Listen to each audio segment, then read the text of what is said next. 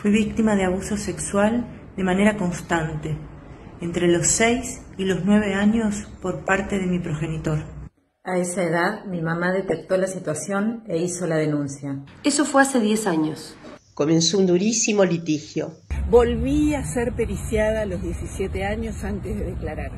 Tenía el derecho a ser escuchada en cámara Gesell y me lo negaron. Terminé declarando como adulta ante la Fiscalía de Morón después de cumplir 18 años.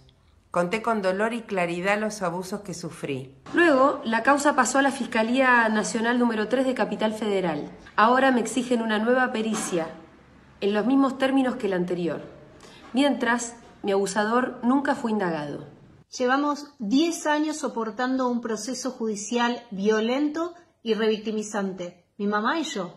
Justicia para Luna, que no la hostiguen más. Todos exigimos se desista volver a periciar a Luna. Basta de revictimización. Indagatoria ya para el abusador. Juicio y condena. Justicia rápida para Luna.